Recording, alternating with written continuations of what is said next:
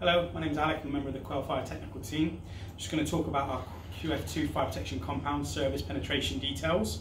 We've got a variety of uh, demos here. We've got the use of the Quelfire uh, QWR fire collar here on a plastic pipe.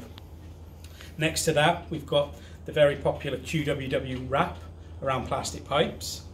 And we've got these two applications here, both using our Quail coil um, wrap this is a plastic pipe here, and this is a metal pipe that's lagged with uh, insulation.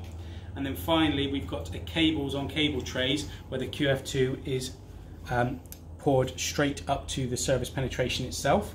If you need any um, information on these details or the other ones that we have, please email me at technical at quelfire.co.uk. Thank you very much.